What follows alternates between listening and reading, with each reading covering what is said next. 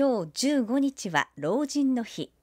県によりますと今日の時点で県内の100歳以上の人は過去最多の956人です。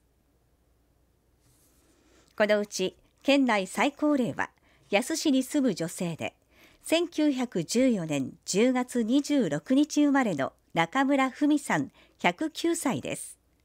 中村さんには先週木曜日県の職員からお祝いの花束などが贈られました。また県内の男性最高齢は高島市に住む淵田光さん107歳です。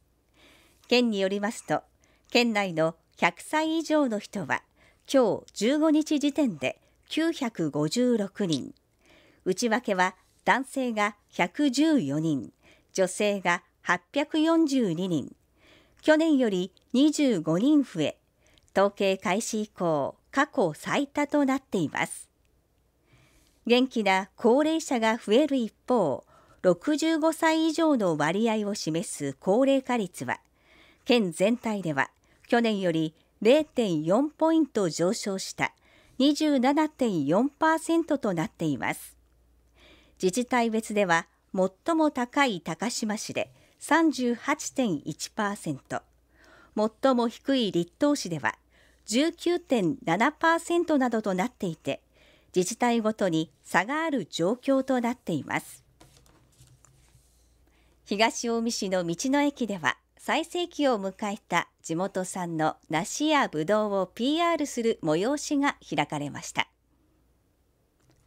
東近江市にある道の駅愛東マーガレットステーションでは地元愛東地域で採れた梨やぶどうが今最盛期を迎え直売コーナーでは連日好調な売れ行きが続いています。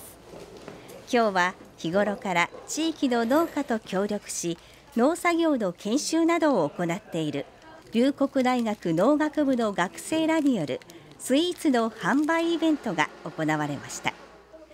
学生らが考案したスムージーやパフェには昨日学生ら自身が畑で収穫するなどした梨やぶどうが使われていて販売開始直後から多くの人が買い求めに訪れていました。の果物は愛情がこもってて美味しいです。マーガレットステーションでのブドウの販売は今月末まで梨は11月頃まで続くということです。ニュースをお伝えしました